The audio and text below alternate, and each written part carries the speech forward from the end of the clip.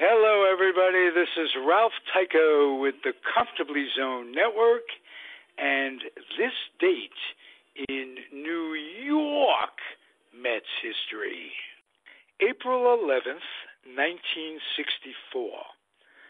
Both Wally Whitehurst and Bret Saberhagen are born. In 1974, Trot Nixon is born and in 1984, Alejandro De Aza is born. The proceeding has been a comfortably zoned network production. You are advised to keep your dreams wet, your humor dry, your children and grandchildren out of military recruiting offices and off the laps of clerics who wear dresses.